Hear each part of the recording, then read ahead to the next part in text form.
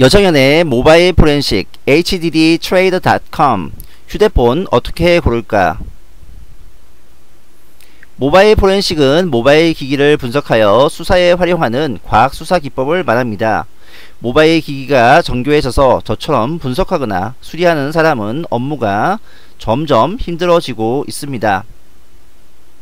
삼성의 최신 폰인 A42, S21 등에 적용되는 분해 방법을 간략히 살펴보도록 하겠습니다. 진공 압착기와 헤라가 없으면 최신 폰은 분해가 완전히 불가능합니다.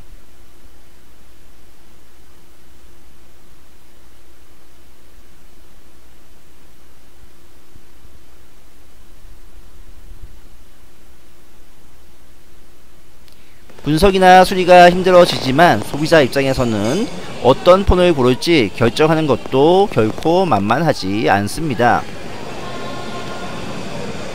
만약 자금에 여유가 있다면 출고가 189만원에 귀족폰이라고도 불리는 Z폴드 2를 보내드립니다.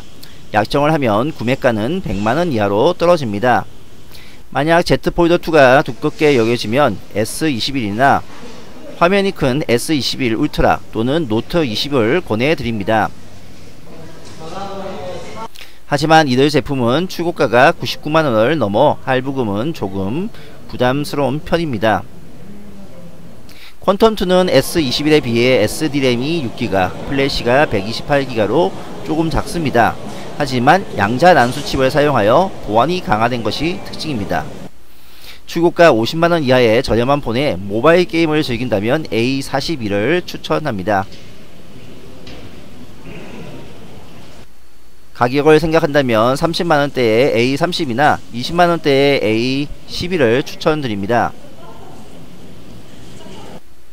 삼성에서는 일부 디지털 약자분들이 선호하는 폴더폰도 지속적으로 공급하고 있습니다. 하지만 대부분의 서비스 센터에서는 전화번호, 메시지, 일정, 사진, 동영상, 녹음 컨텐츠 등 데이터는 다른 매체로 이전하여 주지 않습니다. 물론 삼성에서는 Smart Switch라는 앱을 출시하고 있지만 어떠한 휴대폰을 사용하든지 주요한 데이터는 클라우드나 컴퓨터에 백업하는 것을 잊지 마시기 바랍니다. 네 지금까지 동영상이 마음에 드셨다면 구독과 좋아요 그리고 알림을 눌러주시고 제 채널에 있는 다른 재미있는 영상들도 꼭 감상해 주시기 바랍니다. 감사합니다.